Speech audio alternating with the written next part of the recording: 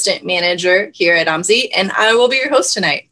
I'm super excited to learn more about the geology of national parks and just more fun facts about all the national parks that we have near us. Um, before that, uh, I want to let you know that OMSI is committed to sparking curiosity and igniting imaginations. And to help everyone out at home, we've crafted and curated all sorts of engaging science activities and experiments to inspire you to experience the wonder of science from wherever you are. Visit omsi.edu for more information and resources. And if you do any of the science activities, please send us photos or videos so we can see what wonderful scientists y'all are. I hope you enjoyed tonight's pre-pub trivia and music by local Portland band Rowan and the Billy Goat. They are currently scheduled to perform live inside of OMSI's Planetarium as part of our Kindle concert series on January 28th, 2021. You can find more information about this on our website. Uh, putting on these live shows takes a lot of work, and we have an amazing partner that helps us make this happen. So, a big thanks and shout out to Celestream for providing their live streaming services for tonight's Science Pub. We really appreciate their support.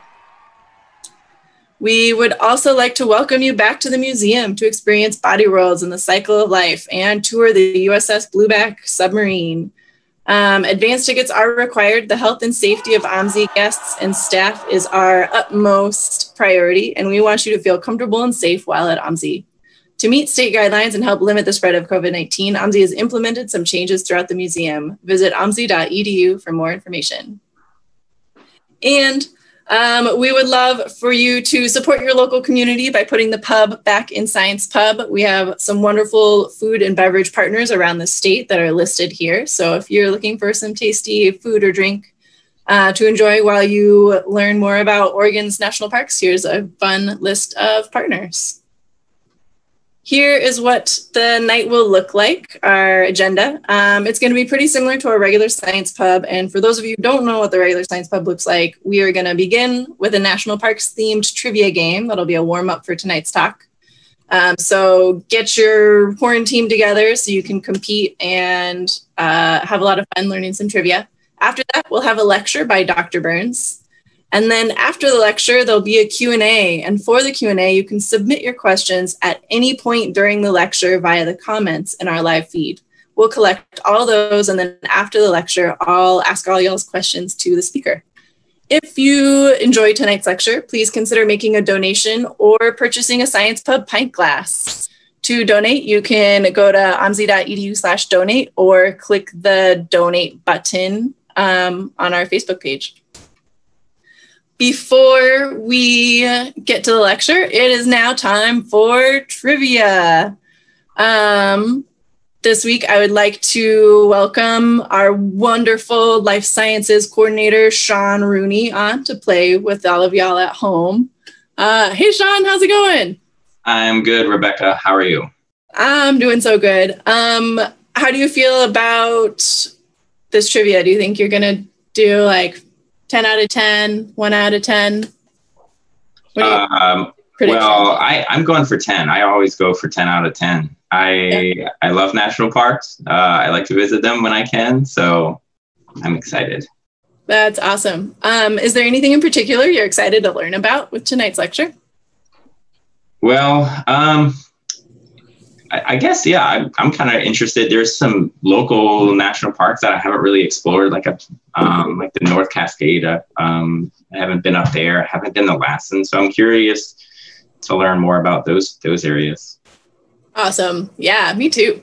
Um, okay, so for trivia, how this will work is um, I will ask a question and give time for everyone to answer. And Sean, that's when you can answer. And if you want to talk through your reasoning, that's always fun to sort of model our scientific reasoning for folks at home. Um, then I'll give everyone the answer to the question before we move on to the next one. So for folks playing at home, if you want to play against the other folks in your household, you can make some stakes, like who's going to play or who's going to do the dishes next, or um, who gets to wear a cape, or um, I don't know. You make it interesting. Okay, we'll have 10 multiple choice questions. Are you ready, Sean? I am ready. Okay.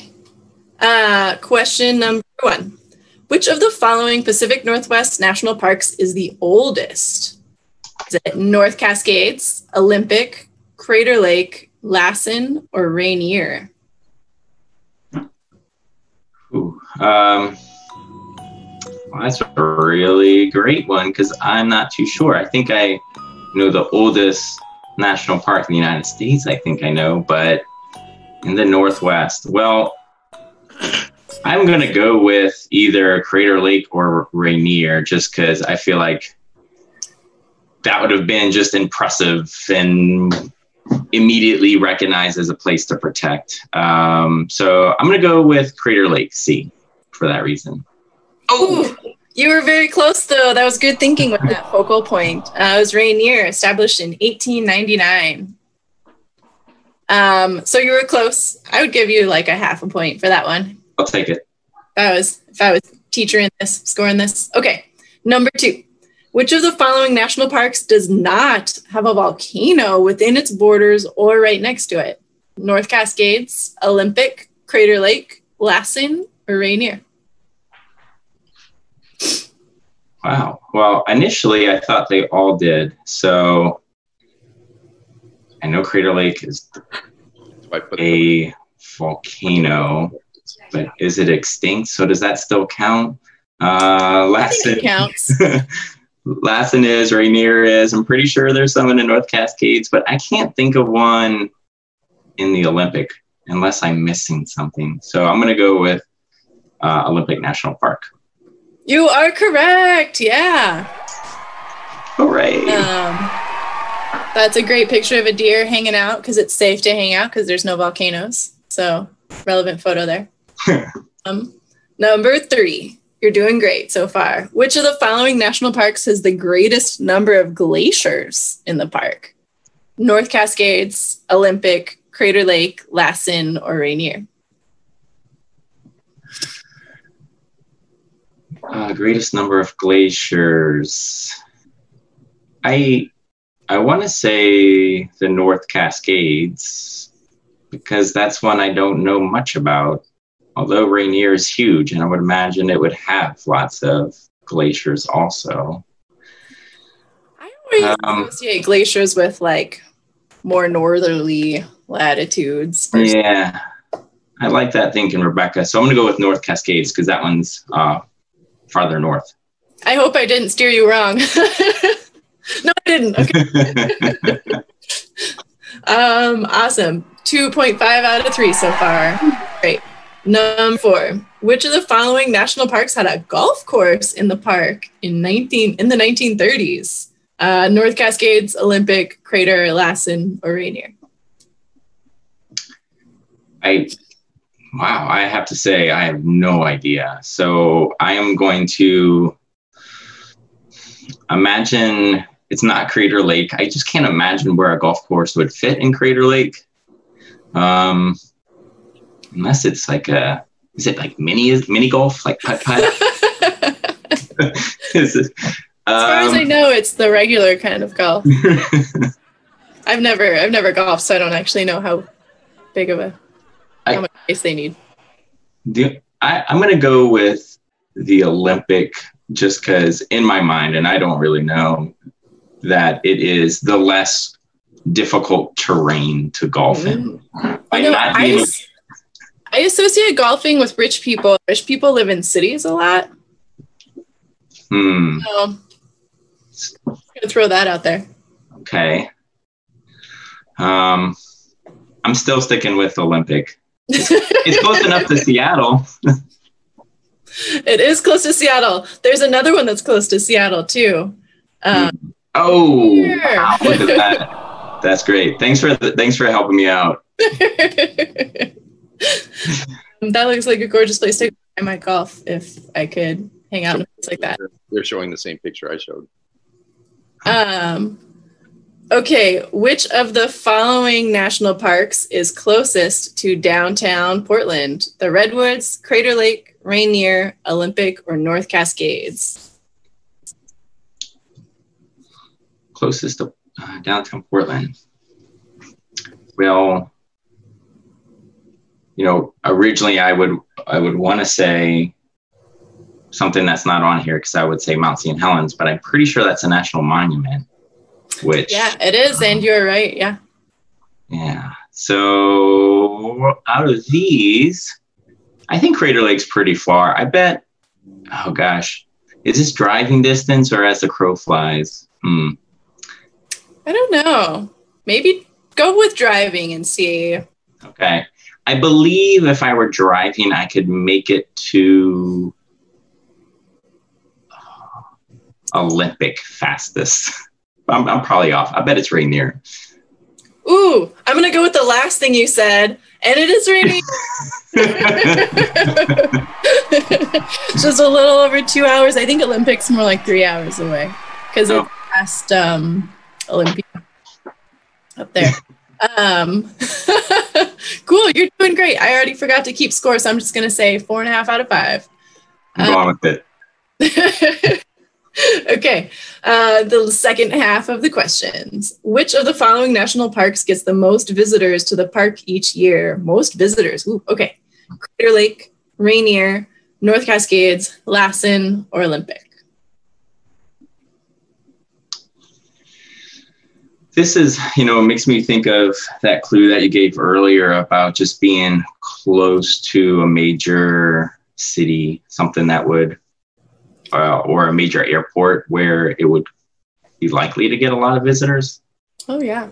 So um, I don't know if that's that's true. I mean, people do go out their way to make it to some more remote, big, spectacular parks. So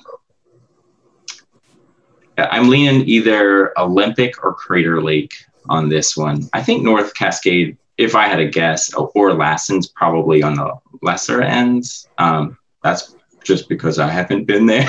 You're representative of the the typical. Yeah, that's my logic. Um, so I'm going to go with on this one. I'm going to go with Olympic. Yeah, it's pretty close to that SeaTac airport, I think. Um, you're right, over 3.2 million a year.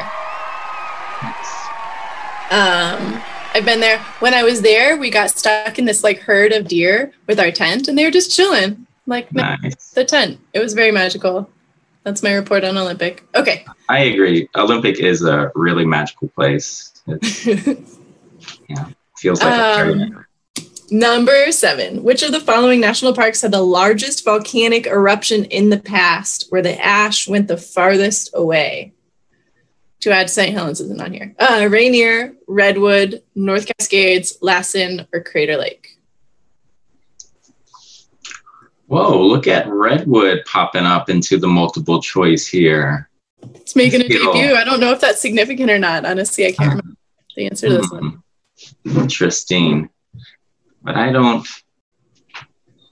Well, largest volcanic eruption in the past. Ooh, anytime in the past. Well, I would imagine. I, th- I know uh, Crater Lake's eruption of um, what was it? What's the mountain called? It was like the um, when it blew. I know that you can find ash like all over Oregon because Oh, I, I've seen it.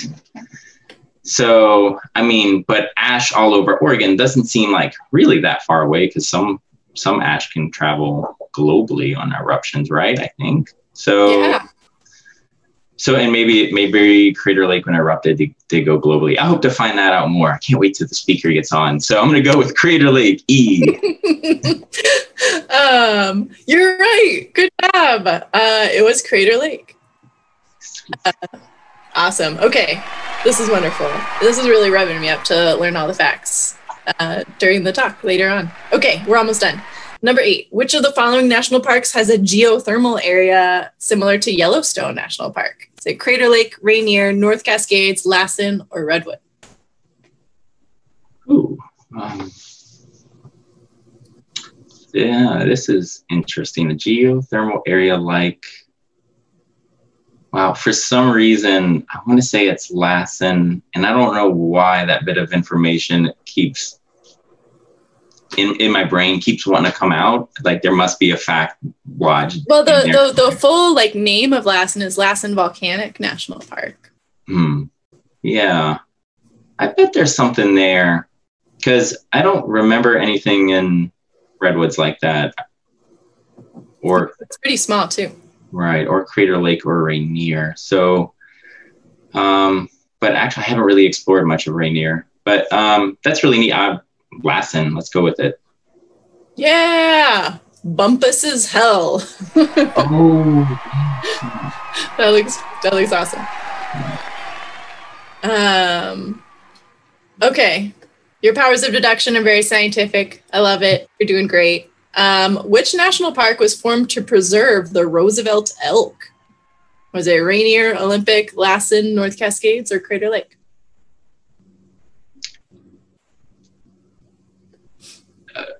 Wow, that's funny. Um, because Redwood's not in here, and for some, like that's another one. I, I just think of elk being around Redwoods, but I think there's something about Olympic too in Roosevelt elk. Um, so again, it's one of those things that I think I know, but I just can't remember what that's about. So I'm gonna go with Believe Olympic. you. I'm gonna go with Olympic. Olympic? That sounds like a good answer. Uh, yeah, it is Olympic. Where I saw those deer. Maybe they were elk. No, they weren't. They were too small. But could have seen some elk. Maybe I'll go back and look for them. okay. Final question. Okay. Um, which of the national parks has had as its greatest advocate when it was formed a person from Portland, Oregon. So someone from Portland, Oregon was a big advocate for this national park. Crater Lake, Rainier, Olympic, Redwoods, or Lassen. Uh, well, um, I don't know. I, I hope I hope to learn more about this one too, and who this advocate was, and I feel like I should know about this person because that seems like a yeah. I can't help you at all on this one. yeah. Um, yeah, important thing. The I, I, I want to lean towards Crater Lake just because it's Oregon and Oregon. Um, a person in Oregon would advocate for something in Oregon, so I'm going to go with that. Yeah, that's the only one that is in Oregon here, huh? Uh, yeah, Crater Lake. William Steele. Neat. Bridge frame. Is that who the steel bridge was named after? Oh, Or was it named after the fact that it's made of steel? I don't know. Maybe we'll learn in the lecture. Uh, Sean, how do you feel? How's Oh, I feel great. I think I think I ended up like uh, eight uh, eight point five. I think. I- I think you did. Yeah. And so I'm going to round that up to a 10 out of 10. So I'm to your goal. Uh, that's great. Um, can you teach my kids? Uh, you virtually teach my kids? I like you as a teacher. Oh yeah, for sure. Yeah. I, you know, I went to Reed and we don't believe in grades. So we just always round up to 100%. Thanks, Rebecca. I appreciate it. That was fun. Thanks, Sean. Um, I'll see you later. Bye. Okay, next up, we are ready for our lecture. I am super excited to learn more about all of those national parks. Um, I would like to introduce Scott Burns, PhD. Dr. Burns is a professor emeritus of geology and a past chair of the Department of Geology at Portland State University, where he's taught for 30 years. He has a bachelor's degree in chemistry and a master's in physical sciences from Stanford University and a PhD in geology from the University of Colorado Boulder. Dr. Burns specializes in environmental and engineering geology, geomorphology, soils, and quaternary geology. In Oregon, his projects involved landslides and land use, environmental cleanup of service stations, slope stability, earthquake hazard mapping, the Missoula floods, paleosols, loess soil stratigraphy, radon generation from soils, and the distribution of heavy metals and trace elements in Oregon, Oregon soils and alpine soil development. Whew, that is a lot, um, and that all sounds amazing. Uh, are you ready, Dr. Burns? I am ready. Can you hear me? Yes, I can hear you. All right. Can you, can you see uh, the the screen? Uh huh. And but it's not moving from the to the next to the next. Oh, here. I know how to do that. Okay. Yeah, you got it. Yes. I knew you could. Um, wonderful. Well, I, can't wait to hear what you have to say. So take it away, Dr. Burns. Well, thank you very much, uh, Rebecca, and uh, thanks for the introduction. And congratulations to Sean. You, I love your reasoning. I, I'm the guy who wrote the the questions tonight, and so all the answers will be done tonight. And hopefully, other people did well too, uh, and you'll enjoy that. So. Uh, I'm excited to give you uh, give this talk tonight on the national parks in the Pacific Northwest. I'm going to define them based geologically because we have two of them in California, and I'll explain that in just a second. Uh, my mission in life to get, uh, get people outdoors and to observe the geology wherever you are. Wherever you are, Mother Nature is shouting out to you. And everywhere uh, there is a story geological. And uh, for us in the Pacific Northwest, wh- wherever we go, there are so many stories, and it's so exciting uh, to be able to do that. And we're blessed with six national parks that are up here. I think uh, part of the American heritage that we have got uh, coast to coast. Many of them are in the West, and they are just really, really neat. I teach a class every year at Portland State. I've been doing it for 28 years, uh, and in the spring. And so, if anybody's interested in taking the class, you can do that. If you're over 65, Portland State has a deal. You can take classes for free. Uh, and so, at the end, I'll give you my email address if you um, if you want to get, get more information on on getting that. So. Uh, and and uh, Sean, you were again very very good. Uh, uh, Mount St. Helens is a national monument. Uh, the John Day fossil beds, the Newberry crater, uh, and are, are also examples of national monuments. They're small national parks. They're still part of the national park system, but they are smaller. And there's 61 national parks that we have got in North America and also one in the Virgin Islands and one in Samoa. So that's good. So let's get started and talk a little bit uh, about our national parks. Oops. All right. There, we go. Uh, and, and so the different parks that we have got uh, North Cascades, which is up in northern Washington, Olympic, which is out on the Olympic Peninsula, Mount Rainier, which is only two hours from Portland. Everybody thinks the closest national park in Oregon is Crater Lake. No, it's five hours down there. Crater Lake, and then Redwood National Park and Mount uh, and then Mount Lassen that we have got. Uh, and all of this is dictated by the fact that we have a plate off of the coast. Let's see. Yeah, there it is. Uh, the Juan de Fuca Plate uh, off the coast, 200 miles off. We have a, a, chain of volcanoes at the bottom of the ocean, creating a plate. Uh, periodically, they erupt, and that magma, the rate of magma coming out get, dictates the rate that it's moving. It's moving four and a half centimeters a year as it is moving in a northern uh, and, and easterly direction. Whereas North America is moving in a westerly direction. What happens is off of the coast, you have Cascadia Trench, and what will happen is uh, the Juan de Fuca plate and the Gorda plate down south uh, will be uh, uh, being subducted underneath North America. They come down, they melt, and come back to the surface as a chain of volcanoes from uh, down in California, Mount Lassen, all the way up to Mount Garibaldi up in British Columbia. Uh, and so that is what I call the Pacific Northwest because it's dictated by the Juan de Fuca and Gorda plate and Cascadia Trench that we have got. So let's start. What I'm going to do is uh, uh, I'm going to start out first uh, the three major volcanic parks Mount Rainier, Crater Lake, and Lassen. Uh, and then I'm going to go up to Olympic, the North Cascades, end up with Redwood. So Mount Rainier w- uh, was the fifth national park out of the 61 national parks. Uh, goes way back to 1899. It is the 18th most visited park with over a million people every year. It's the largest volcano in the lower 48 states. It's a 14 or 14,000 feet high. Uh, and uh, it's the fifth highest mountain in the lower 48 states at 14,419 feet. Where did the name come from? Uh, it was named by George Vancouver, the famous explorer who was out in the Puget Sound. He saw the beautiful mountain, and his good friend, uh, Rear Admiral Rainier, uh, he said, Peter Rainier, I'm going to name it after him. And we did not use the Native American term, which is Tahoma, which is Snow Mountain. Uh, its last major eruption was 6,600 years ago to about 5,700 years ago. It's about 1 million years old. So the oldest eruption, uh, it started erupting just about that time.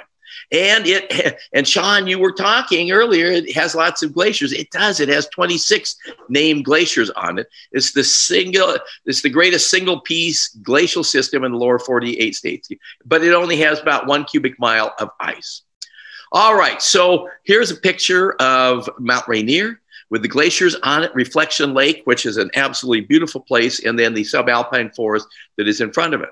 Or we, as you fly over it, if you fly up to Seattle, a lot of times you'll go over or very close to Rainier, look off in the distance. You have Mount um, Mount St. Helens over here, and then Mount Adams over here, all part of the Cascade Range. And look at all the glaciers that you have here. To get to it, all you do is hop on I 5, go up to, to the Morton turnoff, go over to Morton, and then you get it two hours and 15 minutes, and it will get you to the uh, entrance to Mount Rainier. Uh, which is absolutely just beautiful there. And so it is the closest park that we have got.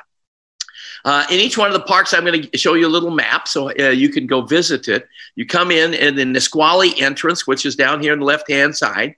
Uh, and then you take the, high, uh, the road up to Longmire, uh, which is, the, is one of the visitor centers. It had hot springs there at one time, but the hot springs have gone cold. Then you go all the way up to Paradise, and the, the park is normally open all year long up to the uh, Paradise. Uh, Paradise was named by uh, Longmire, who started the hot springs down here, his wife. She loved to go up there to the top, especially in mid July with all the Indian paintbrush out there. She said, This is truly paradise. Uh, then you can go through in the summertime to Stevens Canyon over to the Ohanapecosh Valley and the uh, a visitor center down there, the the uh, forest of the patriarchs, which I'll show you. And then if you go up north, you can get up to the White River entrance, uh, White River Visitor Center, Sunrise Visitor Center that is there. Uh, and that is probably the most visited one because many people from Seattle go to that one. And then they look down on the Emmons Glacier. So these are some of the major glaciers that we're going to be talking about. Emmons, the biggest one.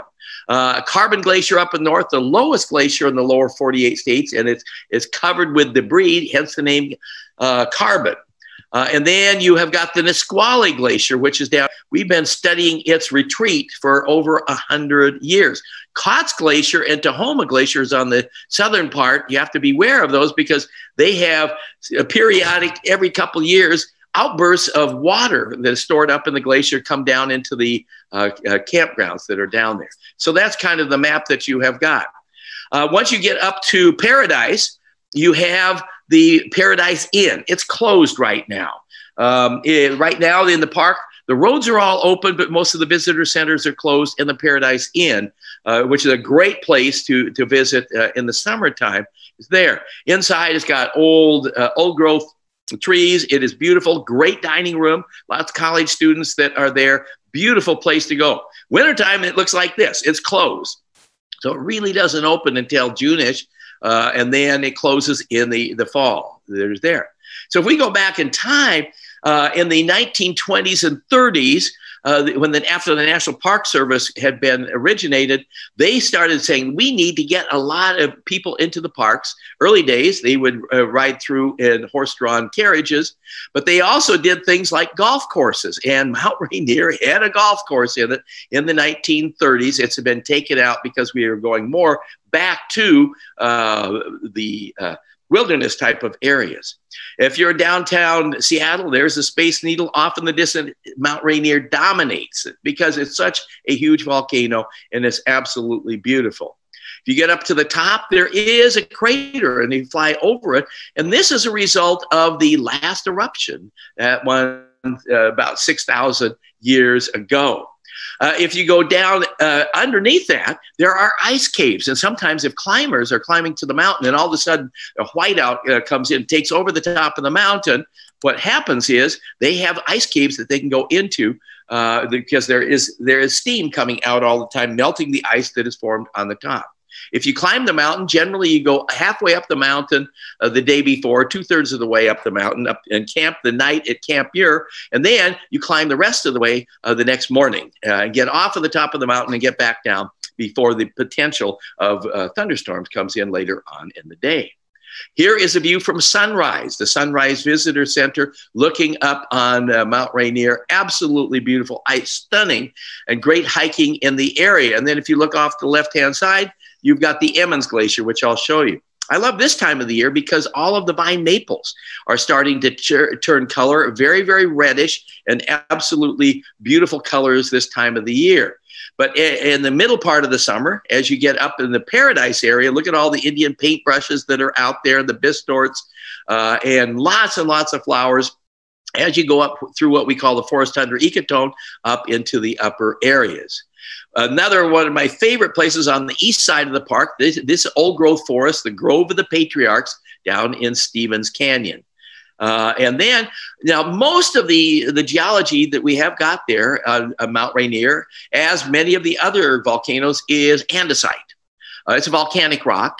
Uh, here in the Pacific Northwest, in Portland, we got basalt, basalt, basalt. It's black. Andesite is mostly gray uh, that you've got. But then there are a couple smaller eruptions on Mount uh, Rainier from small vents, and these these are basalt flows that have come down, and then the basalt flows have flow, uh, have actually formed into columnar joints uh, that you see here. One place you can see that is uh, Narada Falls. And here's a picture of Narada Falls, and uh, there is lots of columnar joints sticking out from the bottom. This is on your way up to paradise from the Nisqually entrance. Uh, Ohana, Ohanapecosh Valley on the other side, a beautiful river that is going down on that side. Here is a drawing showing uh, the, the mountain. Uh, today it's 14,000 feet high, but it was way a couple, uh, couple hundred feet higher uh, before that last eruption 6,000 years ago, and it lost a lot there. So here is a picture of all the glaciers. There are 26 named glaciers. This is what you would see today. Uh, the, the areas that are very, very dirty and gray, that's ice showing. And then up here in the upper part, the white areas, it still has snow from last year's uh, winter. And so he, here is again a picture of the mountain, the top of the mountain, and then the named glaciers that you have uh, got all over it. Emmons Glacier, the biggest glacier that you have got. It, it, it actually comes all the way down in here, but it's covered up with landslides from the past. Uh, and, and so you don't see uh, the actual glacier that is there. On the right hand side, a classic, what we call lateral moraine, showing that's where this was during the little ice age uh, a, a couple hundred years ago. Uh, and then here's the Nisqually Glacier, and it too is very, very dirty on the top, as many of the glaciers in the Northwest are, from landslides that have come down. Here's your lateral moraine on this side, and the actual snout is down there at the bottom. And uh, there is a road that comes uh, with a bridge on it. I'll show you a picture taken from that in just a few minutes. And that's where the glacier was in the 1850s. Now it's retreated, retreated, retreated up around the corner. So this is a picture that I took from the, the actual bridge. And you see you have a braided stream in front of you, which is very, very common for having a glacier up there. And the glacier is around the corner and it has retreated from here all the way up to there uh, uh, since the 1850s. Carbon Glacier is the lowest glacier in the lower 48 states. It's on the north side, uh, so it gets less sunshine. But secondly, it also has debris all, all over the top of it from landslides in the past and therefore is an insulating factor. Uh, if you go down through Stevens Canyon uh, to the east side, uh, you'll notice, look at all of these uh, areas cutting across with no vegetation cutting across the stream or the, the uh, highway that is there. Those are avalanche chutes. And it's closed in the wintertime because snow avalanches come down, making it very, very dangerous to not only, well, to drive down, but also cross country ski. Uh, a few years ago, Mount Rainier was considered America's most dangerous volcano. It's not because of ash. All of us think of uh, uh, uh, Mount St. Helens and all the ash coming out. It's mostly because of what we call uh, debris flows coming off and lahars. When the mountain is uh, erupting, it will melt a lot of the water that is there and, the, and also has a lot of weathered rock on the mountain. The water will combine with the weathered rock and all that slurry will go down into all the major streams and you will have major slurries coming down uh, the rivers. Here is Mount Rainier here and the major rivers coming off of the mountain and you can see all of the lahar deposits going all the way down to the Puget Sound. Uh, and here's another map, the one going down in Enumclaw and Orting, in Enumclaw, that whole flat town down there is the Osceola uh, mud flow that came down 5,700 years ago during that major eruption. Uh, and then just 600 years ago, we had another one come off of the backside, and this was down into Orting. And the, all of those towns, and, and, Auburn is another one, are all built on those. So here is Orting, that flat area down there. No, you say that's a nice place to live. No, uh, if we have another eruption of Mount St. Helen, or Mount, Mount Rainier, we have the potential for these mud flows coming down and completely filling up these valleys. So what you want to do is get up, uh, take the roads and get out of the valley. And we have a, a lot of uh, early morning systems that are there. Here's Kautz Creek uh, on the south side, right below Kautz Glacier. Uh, and um, back in 1996, we had a huge stream flow that came down here and, and scoured out this particular valley and rerouted it through this particular area here. Also, our volcanoes get some incredible uh, uh, cloud uh, formations. I love showing this one, um, and uh, I wanted to throw that in. So that is our first national park. Then we come into Oregon, and it was park number six out of 61 national parks, uh, 1902. That's Crater Lake, our national park here in Oregon. 28th most visited park uh, in the United States. Uh, and it's interesting, in, in, in 2016, it had many, many more. If you look at the Native American stories of how it created, you had Llao, who was the god of the underworld, and Skell, who was the god of the above world. And they were always duking it out back and forth and back and forth. And then the medicine man uh, of uh, up in the Klamath area said, We need to stop this. And that was just all of the uh, eruptions of Mount Shasta and uh, also um, Mount Mazama, which was the previous volcano. And it, uh, they went up and they threw a young virgin into the volcano and it got Skell so excited that he duked it out loud, rammed him into the ground, creating this huge hole in the ground. And that huge hole is where Crater Lake is today. It's a collapsed composite volcano. It is a caldera. A composite volcano, those are mostly um, uh, andesite and there'll be layers of, of uh, volcanic flows and then layers of ash, cinder, and lapilli from very violent eruptions. Uh, it is only now only about 78,000 feet high, but originally it was 12,000 feet in elevation. The lake there is 27 square miles. It's the deepest lake in the lower, in the lower 48 states and the clearest lake in the lower 48 states. It's interesting. The price of visiting national parks has gone up a lot. 2014, $5 for a car. Now it's $32 for a car. And the guy who led the formation of this park was William G. Steele uh, in Portland. He was a businessman, he was postmaster, he was a judge, but he also started the uh, mountain climbing group called the Mazamas, named after a mountain uh, goat. Uh, and, and hence the name, once it became a national park, they said the preceding volcano that was there, the collapse, uh, would be called Mount Mazama. Uh, the first eruption of this volcano, it's a young one, 75,000 years ago. Uh, and the last one that came out, some of the books will say 6845. Those are radiocarbon years ago. If we go, we convert it into calendar years, which we are now doing 7,700 years ago. And so here's a picture of beautiful Crater Lake, one of the most beautiful ones uh, that we have in the United States. The rim road that is going all around it. Here's little Wizard Island. Uh, we are looking to the, the south, and then the visitor center and the lodge is right in, in back of that. To get to it, you can either go down I 5 down to Roseburg and then go up and come in in the north entrance, or go over Mount Hood down through Bend and then go through La Pine and then come in through the north entrance. So easy to get to. When you get there, when you come in through the north entrance, you go across the Pumice Desert, which is up here. It, it, it still, after uh, 7,700 years, hardly any vegetation uh, that is in there. Uh, and then there's a rim road that goes around it. Wizard Island is here. The first place you'll see is going to be right in here. If you go to the north side of the lake, they have boat tours. I don't think they're running boat tours this summer. I didn't see on the website. Uh, and then one of my favorite uh, uh, additional volcanoes there, Mount Scott. That's my name. Uh, and then you go down here and you have the, the lodge that is here. Beautiful place to go uh, that is there. And I want to point out the pinnacles down in the southern part. Uh, this whole valley was completely filled up with pyroclastics. And, and, then it is eroded away and leaving these hoodoos that are there. Very exciting. So you got to go see those. So let's take a look at that. So here we are looking at wizard island which is a small cinder cone that came in after the the uh, whole crater lake was created. In the back is this big huge mountain called Llao rock um, after God Llao. Uh, and uh, it was an early eruption that occurred uh, a couple hundred years before the big eruption, 7,700 calendar years ago. And so here we are again looking at uh, Wizard Island. It's named after because it looks like the hat of Merlin the magician, head, hence the name Wizard Island. Uh, and then look down here, there's Mount Scott, and look at these valleys here, U shaped another U shape. Those means that they were carved out by glaciers in the past because the mountain was much, much higher, 12,000 feet in elevation, and it had glaciers on it when it erupted 7,700 years ago.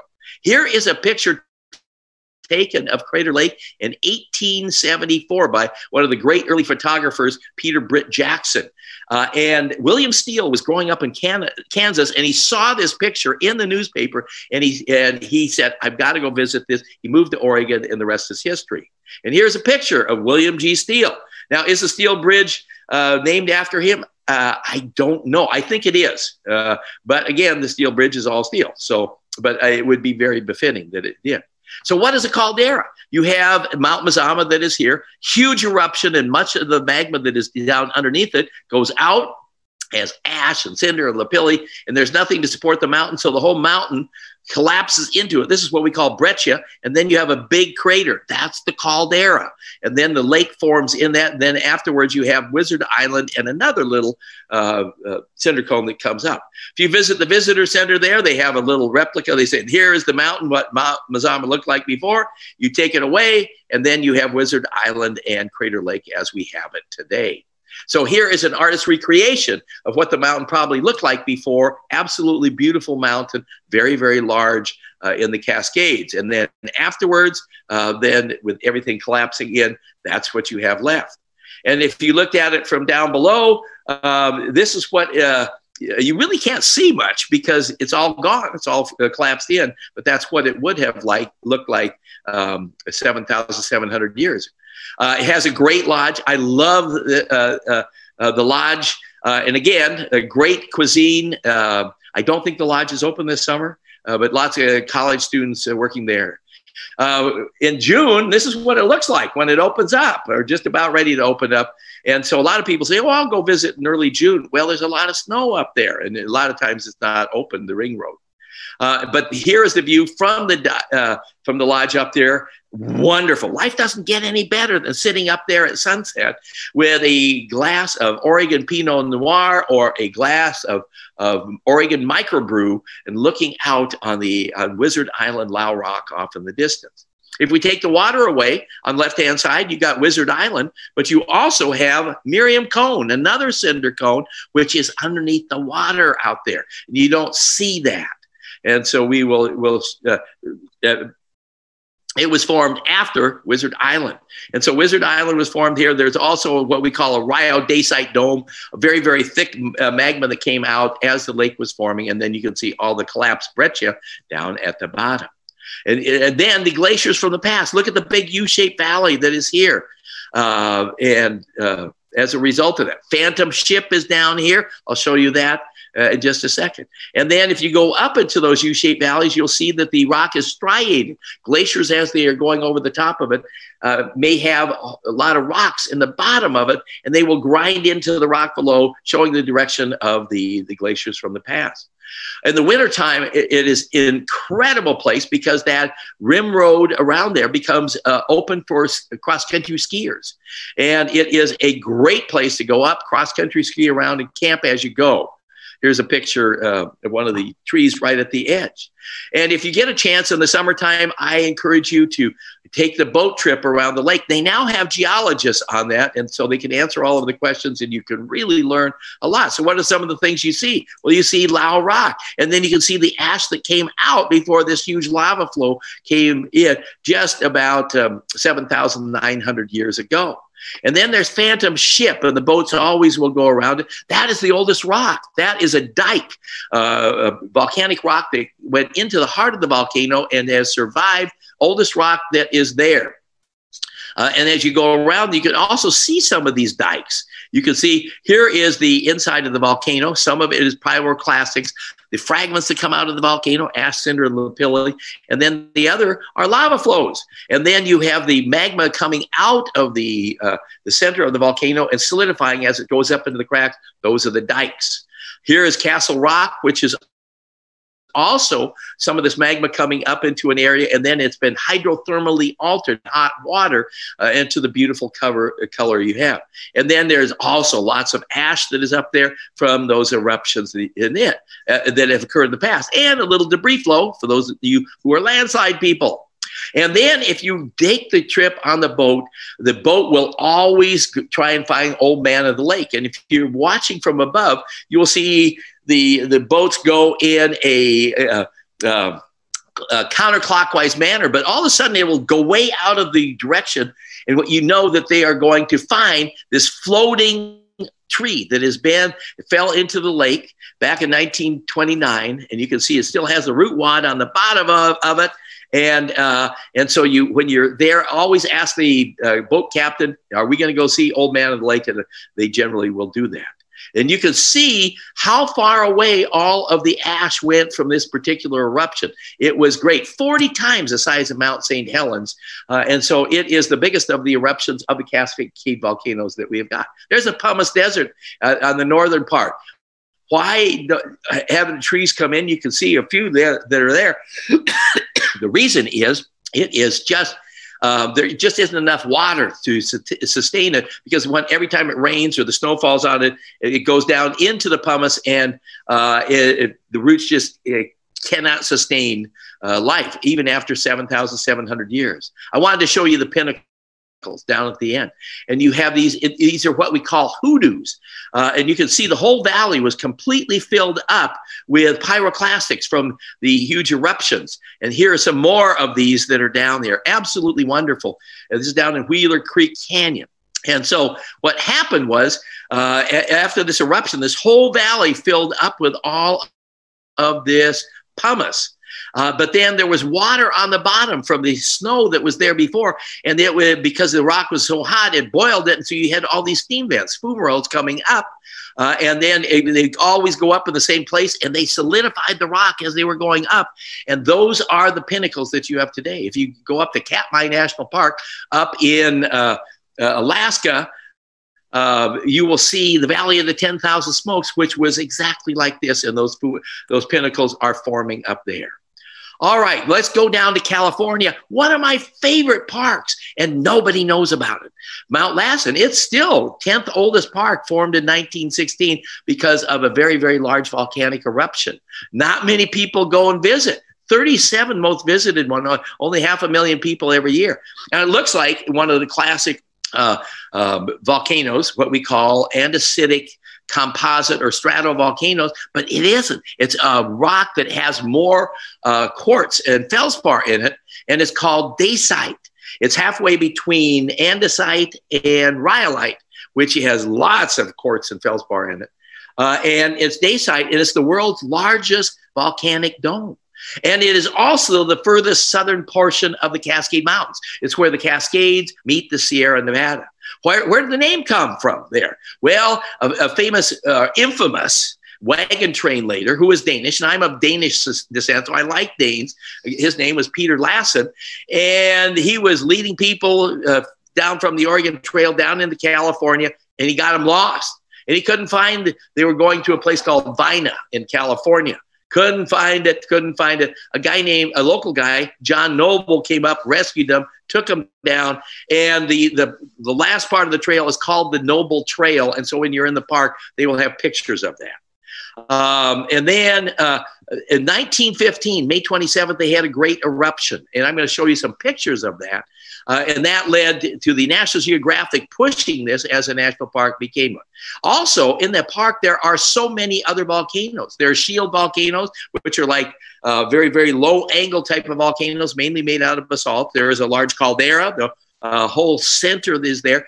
Composite volcanoes, and you've got Bumpass Hell, the uh, geothermal area. My, one of my favorite places in the park is Manzanita Lake, and it's closed right now. Um, uh, and I'm not sure why. A great campground that is at, at, the far end. And there is Mount Lassen here and Chaos Crags, which is off in the, the background. Uh, but it is absolutely beautiful place. Uh, my my wife was doing kayaking across this lake, and a bald eagle came across, and she said it was just very inspirational moment. I love this particular place. Uh, here is a, a, a map of the park. So m- most people from Portland come in from the north entrance, and there is kind of a road that goes up around Chaos Jumbles. Uh, then the devastated area from the 1950 eruption. It goes down to Summit Lake and then, oops, I'm going to get back to this. And then you come down to the parking lot for Bumpass Hell. You got about a five to 10 minute hike into Bumpass Hell. Lake Helen and Emerald Lake are down here. Here's Mount Lassen that is here. And then there is also some geothermal stuff down here, Sulphur Lakes here. Lots of great lakes in the back, uh, back area. Uh, and, and if you like backpacking, it's wonderful. Also, a perfectly formed cinder cone that is over here. And in order to see it, You've got to go out of the lake, go drive up around and come in there. Pacific Crest Trail comes right through this here. Uh, and then if you want to come in from the, the southern part of the Warner Valley, there are a couple guest ranches down there and also Boiling Springs Lake that is there. Uh, and so uh, most of the people just go in through here. The best camping site is Manzanita Lake. Let's see it. And so here is a picture of the 1915 eruption. If you visit the visitor center, which is right next to Manzanita Lake, they have pictures of a photographer that took all of these things. Incredible. And then you had a whole bunch of eruptions from 1914, 1915 to 1917, but it was the 1915 eruption that came down uh, from the, top and down to the, the bottom. Here is the uh, the backside, the devastated area is still devastated. All the uh, vegetation has been wiped away from by all of these incredible um, eruptions in the past. You're down at Manzanita Lake. There's Mount Lassen, Chaos Jumbles. Chaos Jumbles is more day dacite that came out only just a few thousand years ago, very, very young. And then we had a large landslide that came off of the Chaos Jumbles and came down uh, into the area and dammed up the creek, forming Manzanita Lake. Uh, here's a picture from up on the top of Mount Lassen. Uh, again, the eruptions were uh, uh, 1914, 15, and 16 and 17. Uh, and then now uh, there, uh, there was a huge volcano, a whole uh, composite volcano called Mount Tehama. Uh, and it, it was gigantic, and uh, all of the remnants of the, the this volcano are other peaks, like Mount Diller is one of them. Uh, and then here is Mount Harkness, which is a shield volcano down in the southeastern part that is there. Another one here is Broke Off Mountain. So Mount Tehama was a composite volcano. It had a huge eruption and then it collapsed into a caldera. Uh, and so mo- that's the heart of that uh, caldera is Bumpass Hell, where there's still magma down below the surface. Uh, and so if you come, and so Mount Lass is off in the distance. Here is the parking lot at Bumpass Hell. Here is a glacial erratic that has been brought down by glaciers in the past. Uh, in the in the very very back here is Lake Juniper, which is the largest lake here. Whole bunch of lakes that are out here, either formed by lava flows or by glacial um, uh, moraines that have dammed up the, the lakes that are there. If you like getting away, great hiking into the backpacking area. Or if you want to drive around and go to the perfect little cinder cone that is here, parking lot is off to the left. We are looking to the south. You can climb up to the top, go around the top, and then uh, on the southern side uh, you have got uh, a whole bunch of sand dunes that are down there from the cinder that came out. Uh, 800 feet high. And here is down in the, the painted dunes with the cinder cone off in the distance that is there. Uh, and then at the end of a lot of cinder cone eruptions, you have lava flows that come out. You can see the lava flow that came out on the left hand side, came down, flowed over here, and dammed up some streams, forming Snag Lake and uh, uh, the lake over here on the right hand side uh, Bumpass Hell is this geothermal area that is there with what we call fumaroles or steam vents all over, boiling mud, boiling water that is everywhere. No geysers that are found there, and lots of hot springs that are there. And you got a chance to see this picture earlier here, and you could go visit that. Why was it named Bumpass Hell? Well, a cowboy uh, who worked uh, down at the Dude Ranch uh, on the west end uh, or the uh, eastern side of the park would take people up here uh, and, and, he would get out on on some of the lava areas in between the fumaroles. He, you don't do this, but I, I'll be out here. I'll just show you how safe it is. And he fell in, got scalded, and it became his hell and is named after him. Or you go out of the park along the highway, and here are sulfur works, and there are a whole bunch of. Uh, if you don't want to do the five to ten minute hike into Bumpass Hell. Also, Boiling Springs Lake, which is possibly the world's largest body of hot water, uh, has interesting viruses that are living in here.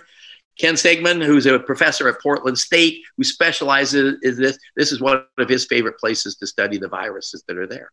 All right, so those are our three big volcano national parks. Let's go up to Olympic National Park, uh, which is uh, up on the Olympic Peninsula, park number 25. No volcanoes here. Uh, it was originated, why? To save the uh, Roosevelt uh, elk that are here. Uh, and it is the seventh most visited park in the United States and the number one visited park in the Pacific Northwest. And it is three parks in one. You got the mountains, you got the coast, and then you have the whole rainforest that is found there. So it is a fun park to go and, and visit. Why is it named uh, uh, Olympic National Park? Well, one of the early explorers looked up and he said, It looks like the home of the gods, hence the name uh, uh, Mount Olympus. Uh, which is about 8,000 feet high. 60 active glaciers that are there. And all of this is rock that is just ocean bottom rock that has been stuck on. It's what we call accreted terrain that is here. And I'll show you that. Here are the Roosevelt elk that they are up there. Uh, the park is there to preserve them. We got a lot of Roosevelt elk down in the Coast Range here in Oregon. So here is the good old map that we have got. If you come up from Portland 1, uh, Portland, you get on Highway 1, uh, and you have two uh, Highway 101s. You can go up Hood's Canal, up to Port Angeles, which is the main visitor center, or you can go up the coast after visiting Olympia, up uh, through Lake Quinault. I'm going to show you this here. A great lodge that is down there through Queets. Uh, there's the Queets Rainforest, the Quinault Rainforest, and the Hoh Rainforest through Kalaloch. Uh, and then uh, uh, once you pass Kalaloch, this is Olympic National Park too uh, that you have got in this particular area here. So you've got the mountains. Uh, you, you can go from Port Angeles up to Hurricane Ridge. I'm going to show you pictures from Hurricane Ridge looking in to Mount Olympus, beautiful U-shaped valley that is there.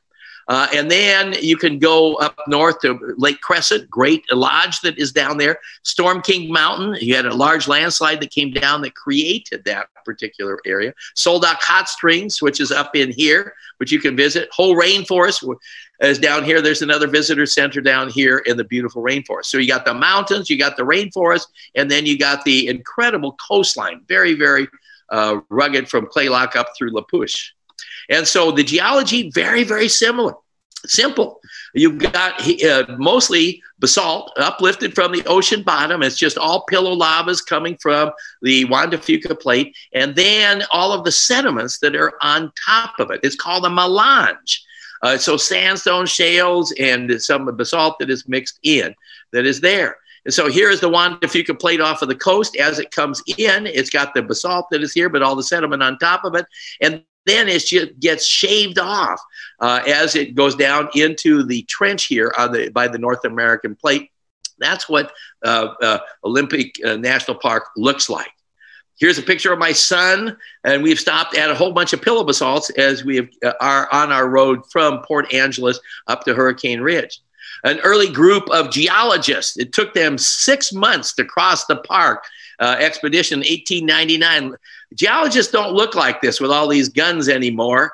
Uh, maybe the beards do, but uh, other than that, uh, that was one of the early expeditions uh, to, to do there. So here is Hurricane Ridge, great visitor center that is up here uh, and looking down into the beautiful U-shaped valley of Mount Olympus off in the distance. I love coming here in the spring right after the snow melts because all the alp lilies are out and it's really good. And I also love visiting here at sunset because hundreds of, of deer will come out of the forest and they are everywhere in the area uh, and are used to human beings. If you like camping, oh, that whole center part of the park, get away from it all. Lots of ridge areas to visit and lots of uh, lakes that are out there.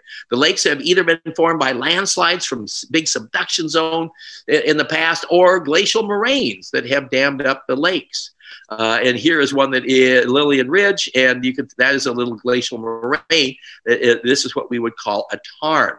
Uh, and then you have beautiful glaciers, all those 30 glaciers that are up on the tops of all of the mountains. That's Mount Olympus up there on the top. Here is the very, very top. You can't, I cut off the two uh, uh, climbers up at the very top of Mount Olympus there.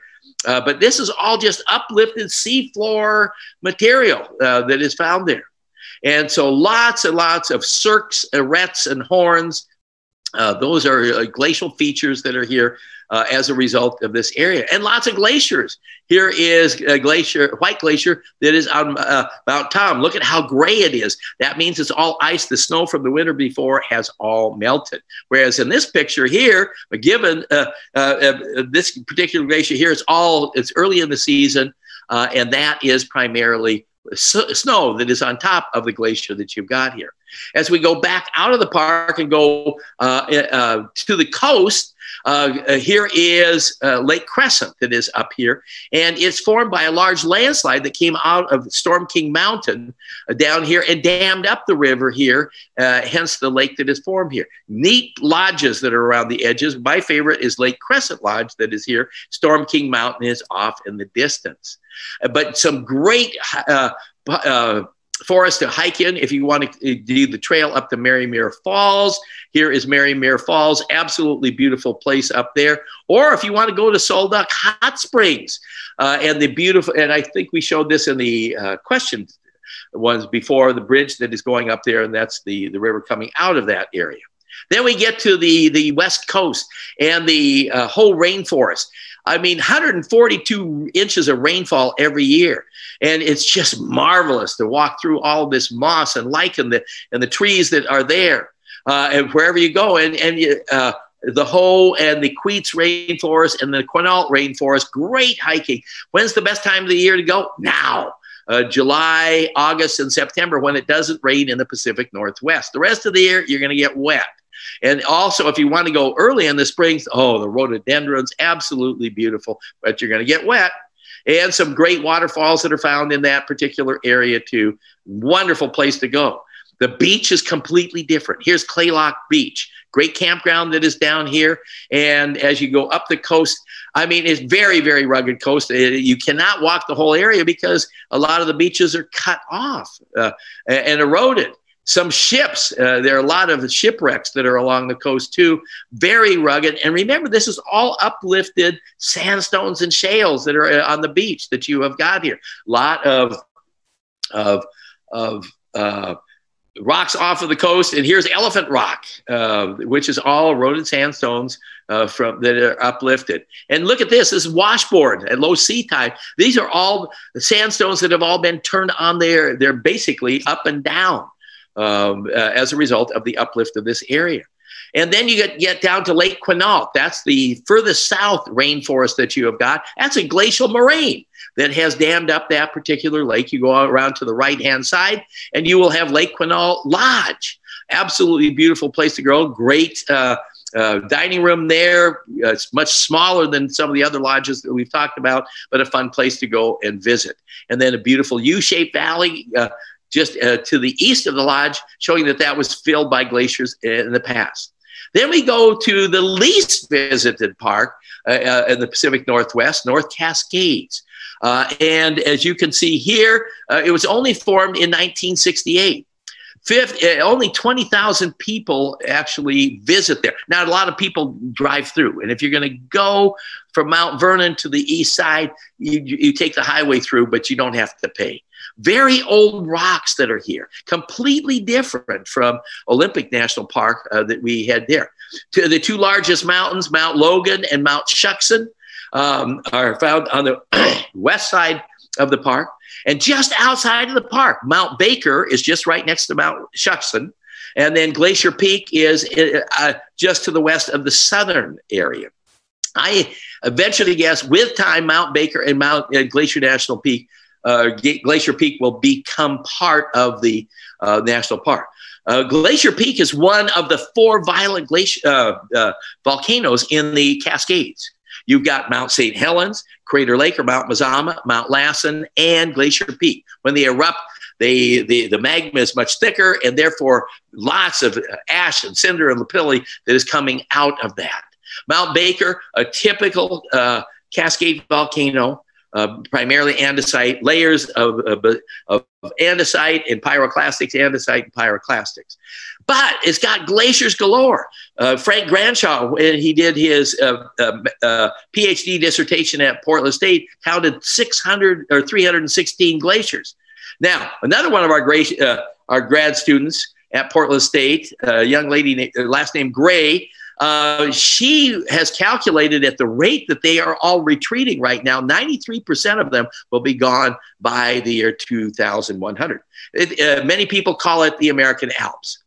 Uh, and so there, uh, here is a major road, Highway 20, coming from Mount Vernon all the way uh, going to uh, the east side of the mountains. And so that is not part of the national parks.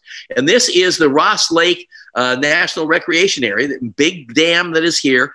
And uh, uh, and we'll show you some of the rock that is in this particular area. This is the north part of the uh, uh, of the national park. Mount Shuksan is here, and then Mount Baker is just to the west.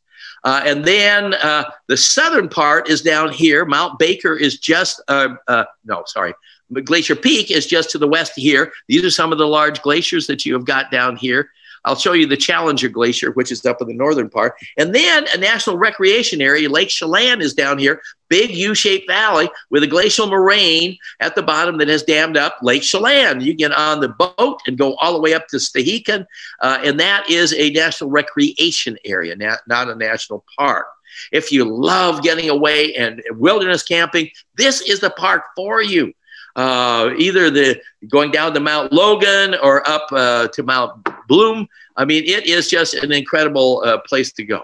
Here is a National Geographic depiction of this. We're looking to the west.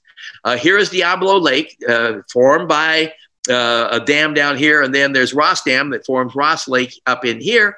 Uh, and then here's the picket Range. I'm going to show you pictures of that. All eh, they're what we call cirques and arêtes and horns, all of these uh, glacial features that are there, and all of these glaciers that are found uh, up in all of these cirques that you've got. This is the north unit to the right, the south unit to the left, and this is the major highway you take from east to west.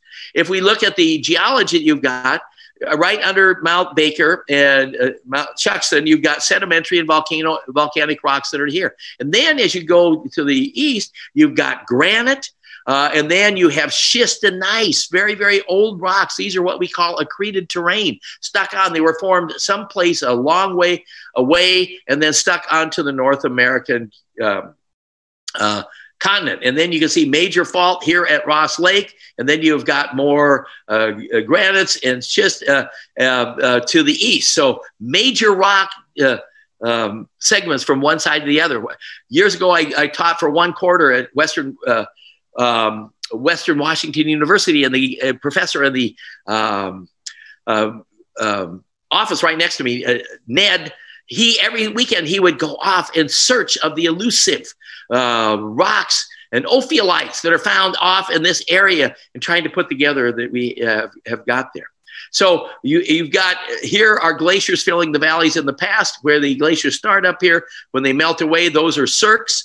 Uh, horns are the pointed mountains that you've got. Arêtes are the knife edge areas in between uh, glaciated valleys, U-shaped valleys that you have got. Here is Diablo Lake. This is uh, in the National Recreation Area with Colonial Peak in the, the background. Uh, and here, look at the color of the, the lakes that are here, kind of turquoise. That means that there's a lot of rock flour that is filling them. Uh, as the glaciers go over um, bedrock, they have rock in the bottom, they grind against the bedrock and it creates silt, and that silt gets into the, the streams, and that, that uh, light comes into the water, it bends it to the uh, blue end of the spectrum, creating the turquoise colors you've got.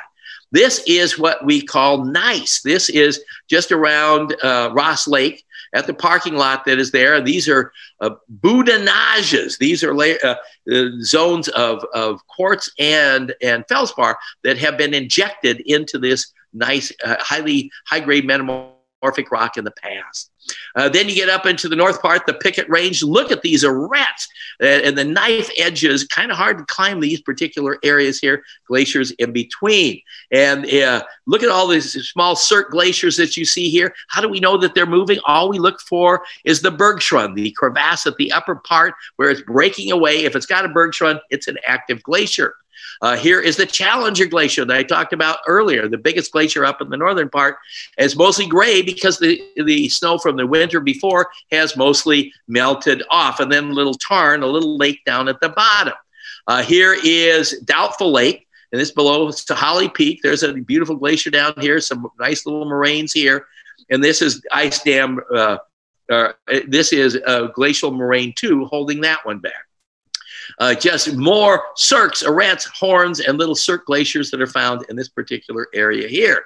And then in the wintertime, not many people go up here. Why? You got avalanches, snow avalanches. Here's a classic avalanche chute here, another one here, another one over here, another one over here. And there's a reason there's no forest here because snow avalanches have wiped them out in the past. Summertime is great. There's Bonanza Peak off in the distance, a gorgeous um, uh, uh, Horn that is there, Hidden Lake that is in front of you. Jade Lake, look at the color of that there. It's got a lot of rock flour in that area there. And then look at here's a lateral moraine from this tiny glacier that is getting smaller and smaller and smaller. It's still moving. There's a there's the Bergschrund at the upper part. Uh, and then uh, here's Mount Terror. Here's glaciers here, and you can see nice crevasses in the glacier. Ber- good Bergschrund up there. Uh, and then here's Liberty Bell Mountain uh, up at Washington Pass. Um, here's Mount Shuksan. So we're now at the very western edge here. Uh, and this is primarily uplifted uh, ocean bottom sediments from the Fuca plate that you've got here. And then the major river coming off of that is the Nooksack River, and it goes all the way down to Bellingham area uh, that you see here. Look at that beautiful U-shaped valley. Uh, this is the Cascade River, a U-shaped valley. Mother Nature shouting out to you that you have got a, U, uh, a glaciated valley in the past. And then we go to the National Recreation Area, go around to the uh, eastern side. Uh, here's Lake Chelan. It is dammed up by a terminal moraine uh, of the glacier that came out of this valley. You hop on the, the boat, the Lady of the Lake, and then you uh, go up uh, to the end of the lake to Stehekin. Uh, and then you can hike. There are also a whole bunch of lodges that are up here. You can stay. There are church camps that are there. and off in the distance, you can see Mount McGregor and Mount Buckner. Uh, or you can walk over to Rainbow Falls, Stehekin, at uh, Stehekin, and it's 312 feet high, huge waterfall, absolutely beautiful place. Here is a picture of the two volcanoes that I venture to guess will be in that uh, in the park soon. This is Mount Baker, a classic Cascade volcano, over 10,000 feet high, almost 11,000, and the Roosevelt Glacier coming off of it. Uh, and then here is Glacier Peak, which is down off of the, the southern section here, that explosive volcano that comes off of that. Last park that I've just kind of thrown in, kind of fun, is uh, park number 32. This is Redwood National Park. So you just go across the Oregon border down into California. 34 most visited park. More visitors are there. They can drive through, and you don't have, if you're on the major highway, uh, you don't have to pay. You can see the trees from a distance. But if you go to Lady Bird Johnson Grove and those things, then you got to pay. Uh, why was it formed? To save the last 58,000 coastal redwoods uh, from uh, being logged. There were originally, they estimate 2 million of these, and we mined them because uh, redwood uh, uh, just does not rot very rapidly. These are the world's tallest trees, the largest trees. Now, you go up to Sequoia and Yosemite National Parks, they have mountain redwoods. They are fatter, but not as tall. Also, this is the southern part of geologically for the Pacific Northwest, the triple junction. This is where the Gorda plate, uh, the southern extension of the Juan de Fuca plate, meets the Pacific plate, meets the North American plate, and this is where the San Andreas Fault goes off. So, three major fault systems all coming together just off of the coast. Most of the geology here is uplifted melange, just like uh, Olympic National Park. It's called the Franciscan Formation. Landslides galore whenever they get uh, rainfall in there uh, that is there. Uh, so, um, beautiful park, great creeks that are there. It's mostly along the coast because the fog dictates the distribution of the redwood trees because they need to have that fog uh, for a good portion of the year uh, to get a good deal of the water that they have got that is there. Uh, and then there's some state parks that are a part of this system as you take the highway going up, up, up the coast. Um, and got lots of pictures of the tall tree, trees. They are absolutely beautiful trees. Uh, here is the big tree here. Uh, and I got three pictures of Japanese tourists here. Uh, there's one. There's another one that yeah, where it got log, Huge, huge trees that you got, and then there are drive-through trees. Now, I got to tell you, there are five drive-through trees there. Four at the southern end and one at the northern end. Most Oregonians go come down from Gold Beach and go through it. The one at the northern one, when we visit, my wife said, "Oh, I got to go visit this." We were at Gold Beach. She'd never been to the drive-through tree, so we did. Nobody else was there, and so she drove through, and then she went back and did it again. I got videos of her going to two or three times. A lot of times there are a lot of people that are there. Uh, but you have to pay. This is they're generally outside of the national park, uh, but a lot of people love doing that. It, it's not part of the park service. But hiking in the national park is absolutely inspiring with all of the, the crushed up redwood uh, uh, on the uh, on the trails. Rhododendrons galore again in the spring, lots and lots of them. The coast is absolutely beautiful, very, very rugged. Not too many beaches. There, here's one down at the bottom where, where the Klamath River comes into the ocean. A couple little sand spits that are there. So that is those are the six national parks that I wanted to talk about in the Pacific Northwest. We have another one which, which became a national park um, back at the beginning of the Obama uh, regime and that is the Ice Age Flood Trail. Uh, and uh, it is now getting off of the ground. The Congress passed it, but they gave no money for it. They only had one half of a person. But the the vision is that there will be 14 visitor centers all the way from Milwaukee and Astoria all the way to Missoula, Montana. Uh, and we are working on one right now in Tualatin. So the one for the Portland area will be in Tualatin, and we're working on the video for that uh, as we speak.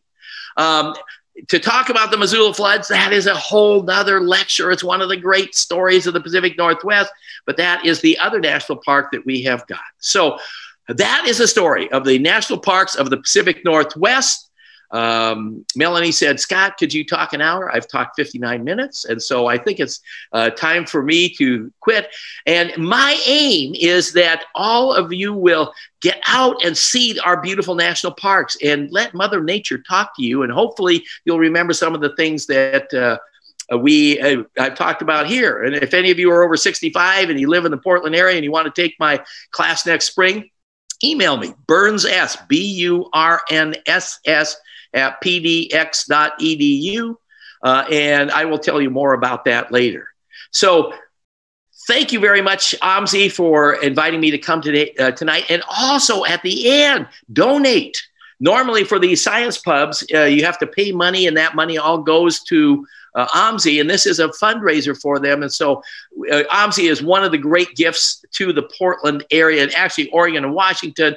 And so I encourage you, uh, they will tell you later how to donate. So do that. Most of the parks that I talked about are open. The streets are open. Many of the visitor centers are closed right now. Uh, so go to the websites uh, of those. Uh, and uh, also, uh, Manzanita Lake is closed, as I mentioned before. Also, another national park, huge alert for Yellowstone. All of the elk are are mating right now and bugling is galore and they're telling people don't go out after in the evenings when the the bugling is going on so that's the story uh, national parks of the pacific northwest thank you very much. We're going to open it up to questions. Wonderful. Ah thank you so much scott. That was an amazing talk. Um i learned so much. Oh i oh i forgot my well I had the last uh, the last slide. I've already uh, stopped my share, but that is a picture of my family at sunset at Crater Lake out there. And I was, I was going to say, go out and visit the national parks. So I forgot that one. Well, right. that was a great description. I I have it in my mind. Yeah, everyone, go visit national parks. Um, we have already quite a few questions that have come in. Although I did want to verbally answer one question both of us asked to the air, which is the Steel Bridge is named because it is made of steel, not after Mr. Steel. So oh, that mystery has been solved. um, now, Dr. Burns, you can help us solve some other mysteries. Our first question for you is What causes hot springs to go cold? Um, oh, so a, uh, a lot of times what will happen is Water is percolating along a fault down to hot magma below, and then it recycles and comes back up. If you have an earthquake and it cuts off uh, the the pathway for the the water to get to the hot rocks, uh, then uh, it goes cold. And so generally, it's some what we call tectonic processes and earthquakes. Awesome. Um, our next question is vocabulary question. What is lapilli? Lapilli? Oh, so so anytime you have a volcano that erupts very very violently, uh, the magma comes out and then it will uh, solidify and fall back down to the ground. The smallest particles are called ash. Uh, and then the next biggest ones, which are sand-sized particles, are cinder. When I was in high school, all of our tracks were red to go running on, and they were cinder tracks, and and uh, and it's very very abrasive. And then uh, lapilli uh, if you have a barbecue with volcanic rocks that are uh, one to two inches wide, that is lapilli. That's the size of the volcanic fragments. Great question. Nice. Is there what's the name for the next size bigger than that? Uh, then you are up to volcanic bombs. That's kind of a cool name. Is that is that anything bigger? Does it does the do the does the do the terms change more than that? Yep, no, no. It- Once once you're the volcanic bomb, you're done. And we, we have the same thing for sediments. You go clay is the smallest, then silt, then sand, then gravel, then cobbles, then boulders. So I mean, we have Okay. for all of those. Nice. Ah, more fun facts just thrown on in there. That's great. Um, what causes the colors in the painted dunes? Uh, so the the different colors you got in the painted dunes at Mount Lassen are a result of uh, different weathering, different chemicals that are in them, first of all, and then different weathering regimes. And so most of those colors are yellow, orange, and red, uh, and those are all uh, um, oxidation, different oxidation states of iron. So the redder ones are going to be hematite, then the the more yellowish ones are going to be limonite, and so the it's going to be primarily the irons of the ash that are coming out that is weathering and uh, different oxidation states. Good question. Nice. Um, if Mount Rainier erupted again, what would it look like for the Seattle area? So, and we're very, very concerned because it is probably uh, lower 48 uh, states' most dangerous volcano. But they will, if it erupts again, they will evacuate all those people in Enumclaw and Orting and Auburn.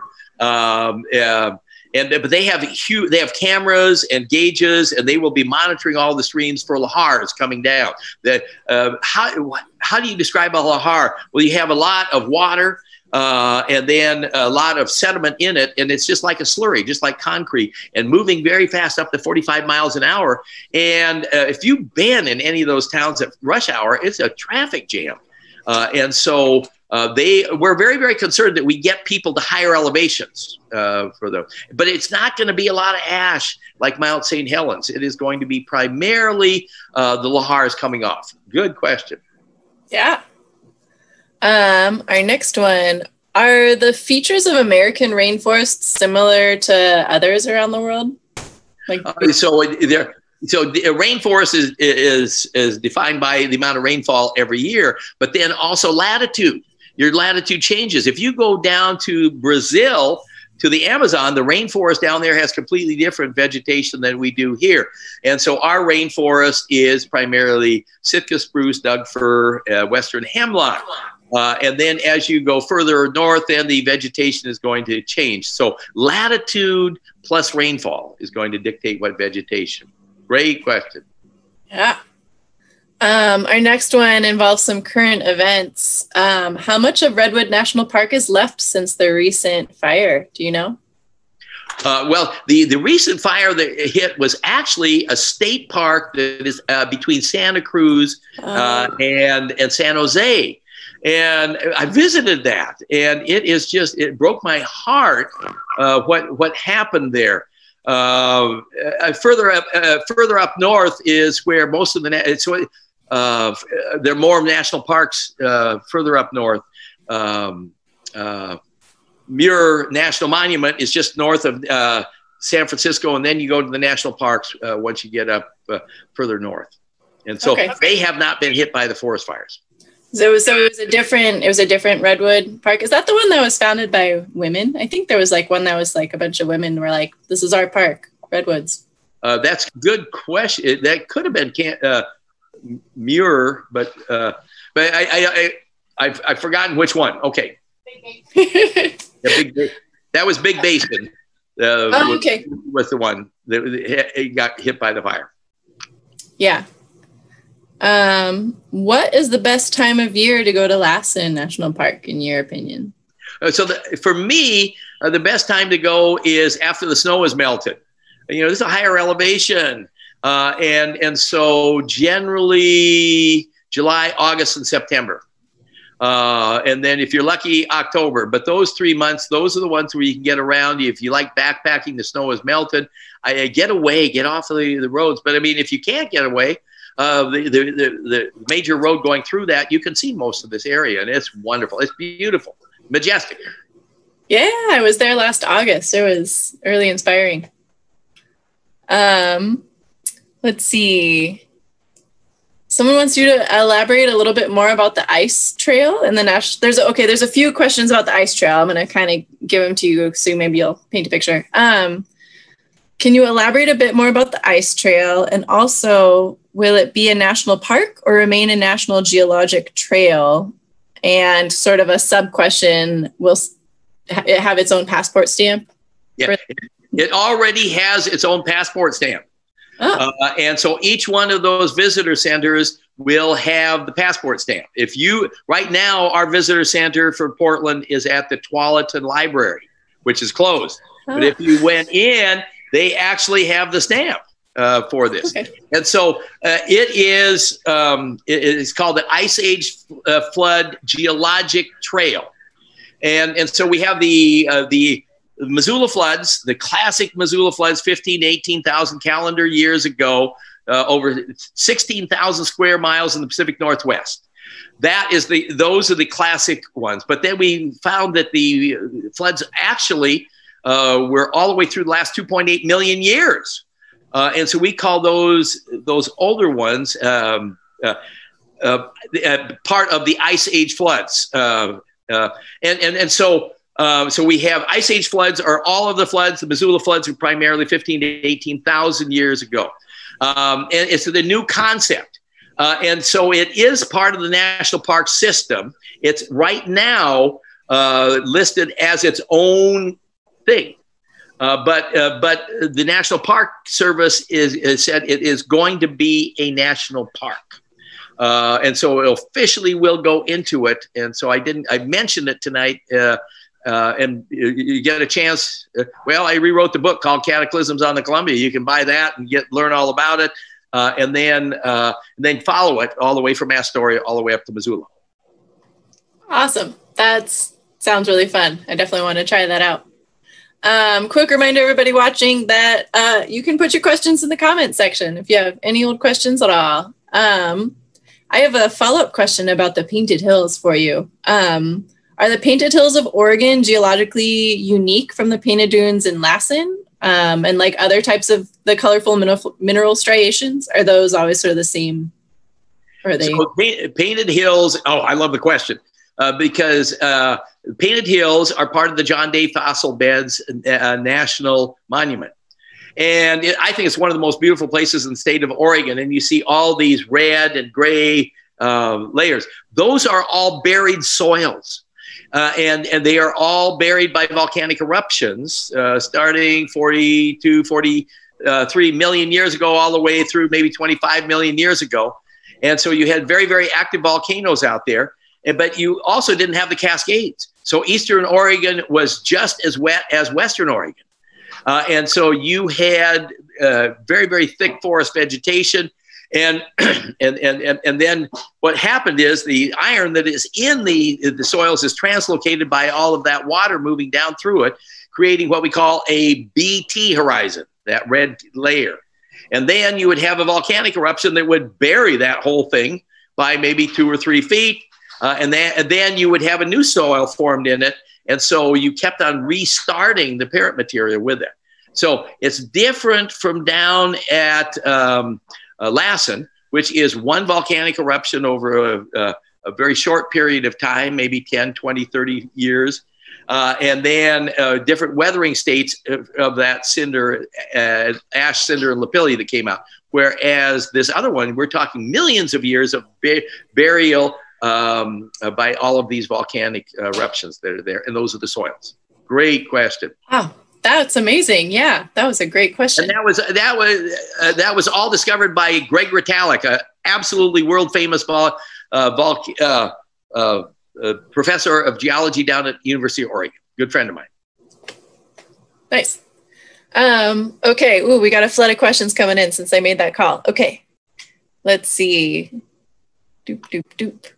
Um, is there still a glacier in Great Basin National Park? Oh, oh, I love it. So Great Basin National Park is off in Nevada, uh, and it's on the eastern side of, uh, of, of Nevada.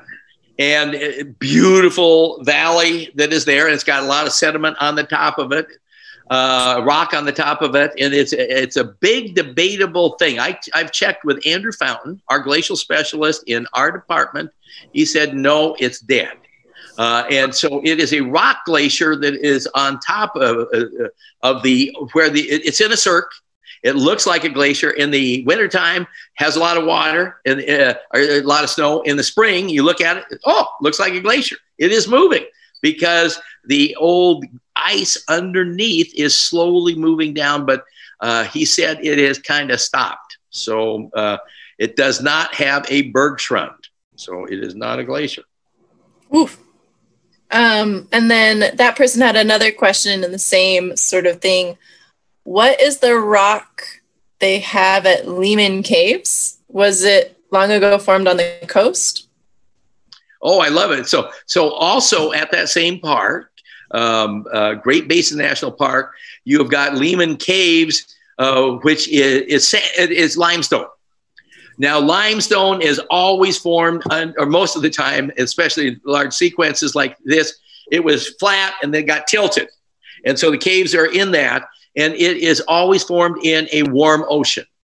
Uh, and so, yes, it, uh, Lehman Caves was underneath the ocean uh, and a warm ocean a long time ago. Then it was uplifted uh, and tilted. And then most of that erosion of, of the caves and formation of the stalactites and stalagmites, which are wonderful, was done during the last two million years during the glacial periods. We had more rainfall in the western half of the United States. And I love picking your brain, you know, a little bit about everything. Um, can you, this is maybe more of a chemistry question, can you explain the difference between calendar years and radiocarbon years? Oh, yes. It, and it's great because um, um, so we always, when, when we, I send something off to be dated, I always get it back, and the lab will always. Uh, um, they look at the amount of radiocarbon that is in the um, substance versus the atmosphere, and uh, and with time, if, if after something dies, uh, that radiocarbon will break down into daughter products, and they they measure how much of the real material is there versus the daughter product, and uh, and and so um, you have uh, because we have had a lot of atomic bomb blasts, we put more radioactivity into the atmosphere. We've kind of played around with this, and then what we have done by looking at trees. If you uh, we we know the, the, rings are one per year. If you go back in time, you take a tree uh, and you date that ring, and then you find another tree that has that's older, and you keep going back in time. The uh, the uh, tree uh, the specialists tree ring specialists have done this and they had gone back 15000 years and they have found that uh, if you date those tree rings uh, that are 15000 years old they come out being a lot less maybe like 12000 uh, and so so we have two curves going back in time. And so when I get something radiocarbon dated, they give it in radiocarbon years, but then they say this is the calendar year. So now what we do is we always report calendar years in the popular publications. Nice. Um, okay. Can you find sea fossils on any of the mountains? I'm not sure if they're talking about specific mountains or not. Uh, well, um, so yes, you, you, can up in the Olympic Peninsula. Uh, you you can see some uh, fossils, clamshells, and things like that. Not real common, uh, but you can, especially uh, Olympic National Park, and then also uh, the Franciscan Formation uh, down in Redwood National Park. You can see that. As far as the other ones, they're mostly volcanic sediments in all of the rest of the parks. Uh, North Cascades, yeah, in Mount Shuksan, uh, you might be able to do that too. Um, now here a question about two places I have never heard of. So maybe if other people are like me, you can give a little background of where where these places are. Um, how were the Steens Mountains formed, as well as the Alvord Desert? Oh, I love it. So the Steens Mountains are in northeast Oregon, and Wallowa Lake is down at the bottom. Uh, and, and so all of the Wallowas are uplifted, accreted terrain.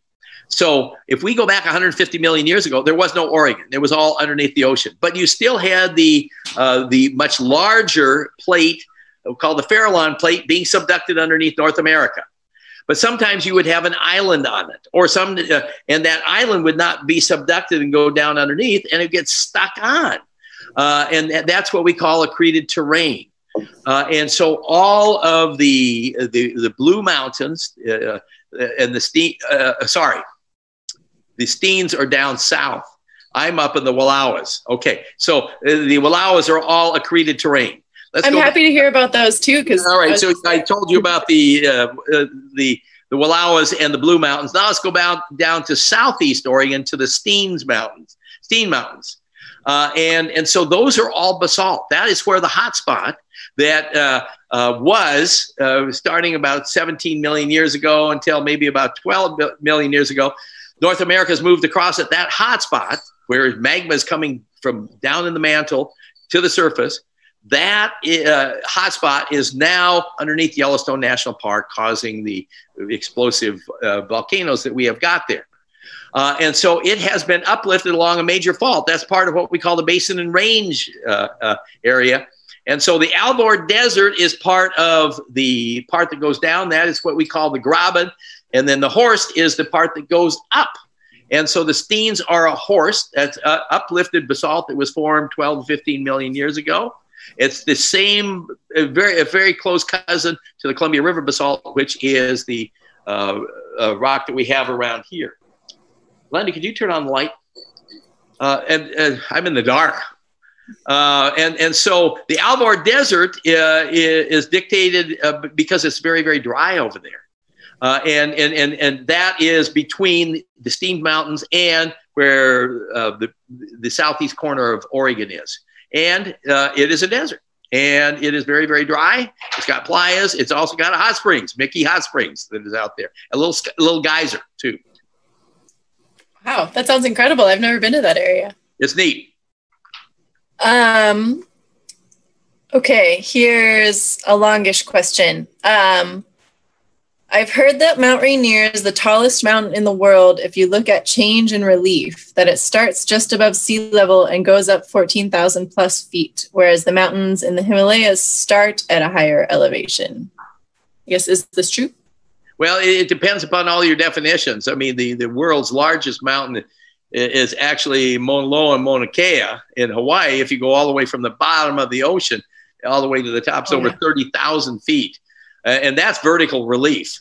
Uh, and, and, and so, uh, but, you know, going, I mean, I mean, in the in the Himalayas, down uh, at the very very bottom of Mount Everest, you're still 25 uh, 20 to 25,000 feet in elevation. So you do have some uh, good vertical relief, but it's not as much as, for instance, in Hawaii. But if you go just from the uh, valley bottoms of Rainier all the way up to the top, I don't think you got the, the same vertical relief that you've got there. You're going up uh, to 14,000. So you do have a lot of vertical relief if you do go from sea level all the way up there. Yeah, um, are hot springs generally safe to swim in? And what's the likelihood of water getting super hot all of a sudden? Yeah, so what you have to do is monitor the hot springs, and if you got if you if if it is a wild one, you got to put a thermometer in and see what the temperature is. Uh, and uh, generally, most of them are pretty consistent uh, with the temperature because it, it, it's water that is flowing from uh, an area with the hot rocks down below uh, to the surface. A lot of hot springs are way too hot to uh, sit in. And, and, and, some of the hot springs that we have here in Oregon, especially up in the Cascades, they actually dilute it with cooler water to make it, you know, 103 degrees uh, for us. Uh, and so every hot spring's different. Every hot spring's different, and the temperatures that you've got depends upon the depth of the water down to the hot rocks that you got below, below the surface. So you mentioned that it's it's more typical for them to maintain temperature. Is that so? Are they usually more of a, a straight temperature instead of fluctuating wildly? Yeah, in, in general, that is the case. But sometimes if you have an earthquake. Um, I still remember uh, the movie a few years ago, Dante's Peak. Um, they had a hot spring that went really hot, really fast. I don't know if that is real common. um, okay. If we had the big one, the really big earthquake, would it cause volcanoes in the area to also blow? And that is always a good question um, because a huge magnitude nine earthquake, uh, is it going to cause them to go? What we have done is look back um, in the geologic record, and we now know uh, for the last 10,000 years the dates of most of these large earthquakes that we have had. And then we look for volcanic eruptions in the Cascade volcanoes, and we really have not seen uh, any of those. And so, uh, um, with similar dates. Um, now, the, the last five uh, subduction zone earthquakes that have occurred in the wor- world, starting with Anchorage in 64, and then Indonesia, uh, and then uh, Chile and Tohoku, the, those last four, there were no volcanic eruptions that were associated with them. So, in general, what we say, most likely not, but then maybe it, sometime it will, but we don't have any good evidence. Well, that's a little bit of a relief, I guess. Yeah. um, so you mentioned that Olympic National Park was formed to preserve the Roosevelt elk. Do they only occur in the Olympic Peninsula or are they more broadly elsewhere in the US? So the, the Olympic, uh, so the Roosevelt elk are from all the way from the Canadian border all the way down into Northern California. So when you um, go into the Coast Range, we have huge herds, herds now of uh, Roosevelt elk that we have got here. So yeah, range is much bigger now. Um, what is the relationship between volcanoes and megafauna? So megafauna are going to be uh, things like mastodons, mammoths, uh, saber-toothed tigers, the the really big ones, and uh, that are, uh, were found in the fossil record in the past. Uh, and they were here, and some some examples have been buried by volcanic eruptions, and we have found some of them. Uh, I don't know of many in the Pacific Northwest. We, most of the megafauna that we have found have been buried by the Missoula floods. Uh, and uh, but uh, it is possible that there may be some that are out there. I don't know uh, about them. Bill Orr our uh, famous paleontologist, fossil guy for uh, University of Oregon, would know better, much better than me.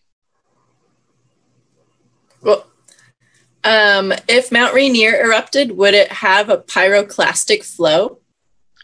It, it, could have a pyroclastic flow. First of all, what's a pyroclastic flow? Uh, pyroclastic flow is uh, generally coming from really, really explosive volcanoes, like Mount St. Helens, like Glacier Peak, like uh, uh, like Mount Mazama, like Mount Lassen. Uh, and, and those eruptions that I showed you from Mount Lassen uh, back in 1915, that was a pyroclastic flow. It is a uh, eruption that has very, very heavy, dense air coming off of the glacier and coming down into the valley, but has lots of ash and cinder in it. Uh, and so it incinerates everything on the way down.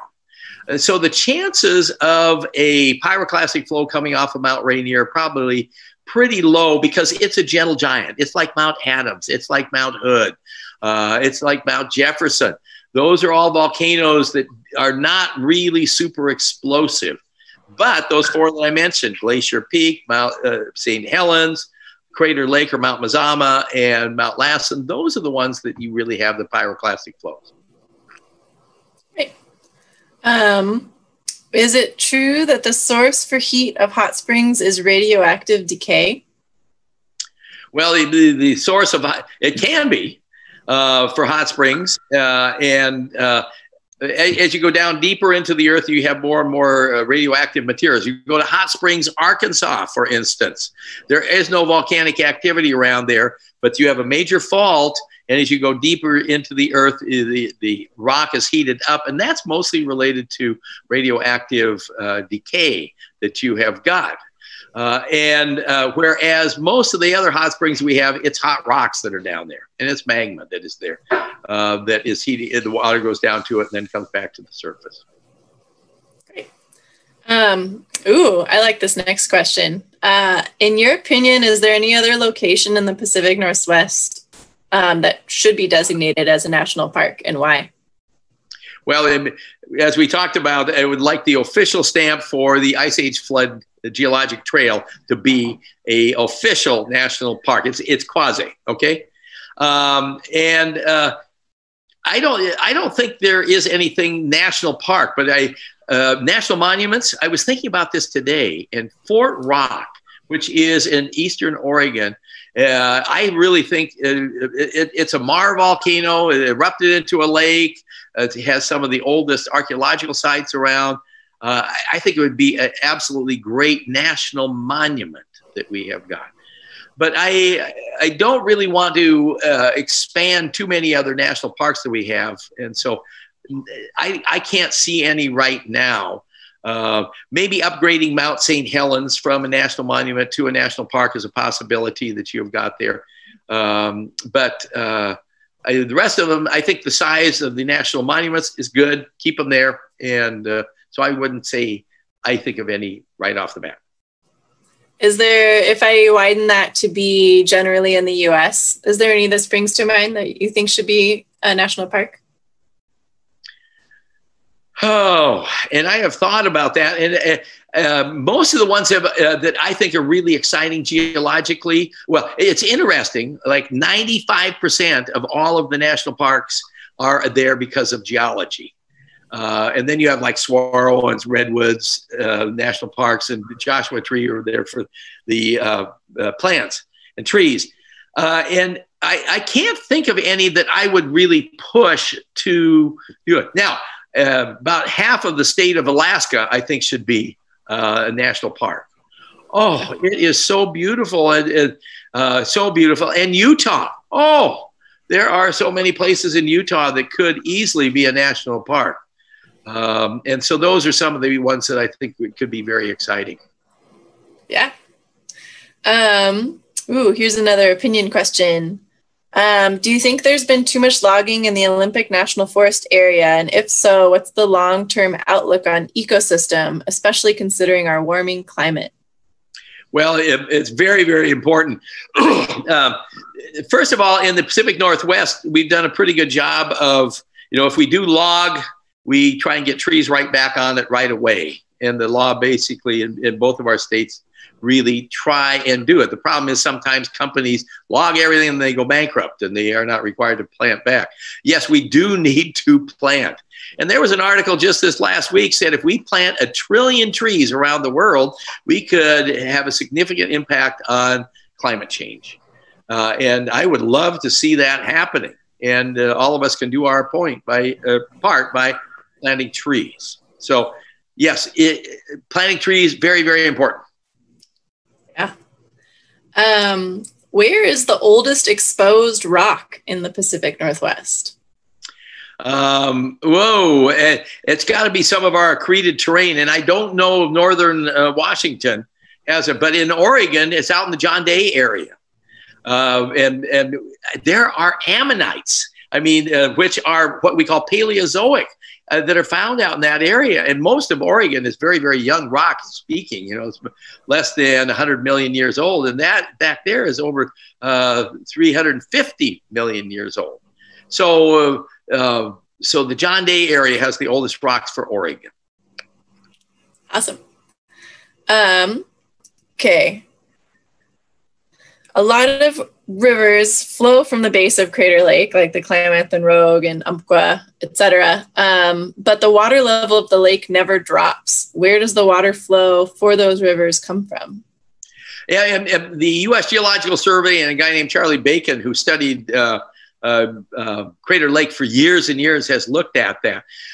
they believe underneath the ground that there is a sill. You remember I showed a couple of those uh, deposits on the inside of the volcano that is kind of acting as a dam. And, and so the water level goes up to that, and then it heads down towards Klamath Falls. And the Klamath Basin. Uh, and, and, and so they, they tagged the, the water from the lake and they found it in, uh, down in the Klamath Basin. Uh, and it, it mains that, maintains that same depth just because of probably the sill that is underneath it. Uh, and then may, uh, the water goes down primarily down into that area. Great. Um, it looks like we are coming to the end of our time. We have one question that you had answered way at the beginning of question and answer. So maybe you can do just a little review. Uh, but how are the Oregon Painted Hills formed?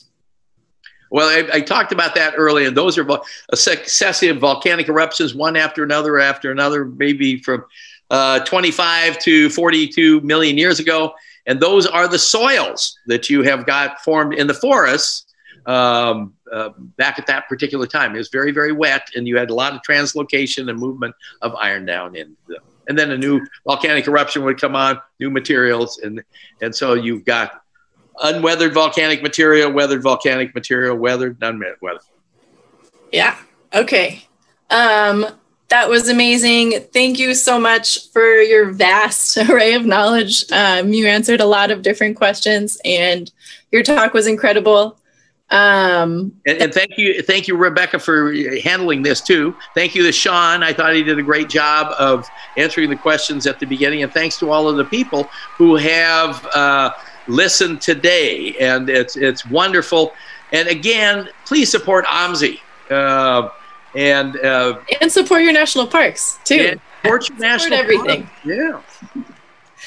Um, especially right now, going outside is one of the safe things to do. So definitely go to those wonderful, beautiful outside places. Well, thank you, Dr. Burns. Um, that is all the time we have for tonight. I hope everyone enjoyed tonight's event. If you'd like to watch the video again or share it with your friends, you can check out the video section on OMSI's Facebook page or on our YouTube channel. And don't forget to follow us on Facebook, Instagram, and Twitter for updates on future events and inspiring content from OMSI.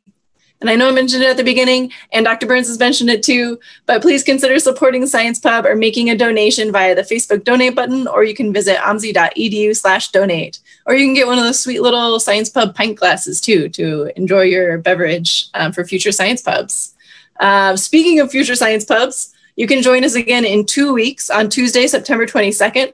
Oh, I'm really excited about this for a lecture about star nosed moles, electric eels, tentacles, snakes, and even zombies. Um, Ken Catania, professor of biological sciences at Vanderbilt University, is going to describe the often unpredictable path that leads to scientific discoveries while demonstrating that most animals have incredible hidden abilities that can defy our imaginations. Um, I'm super excited about that one. So once again, thanks to our partner StellaStream for making tonight's event possible. And as always, you can get more information on our website at omsi.edu. So thanks everyone and have a wonderful night.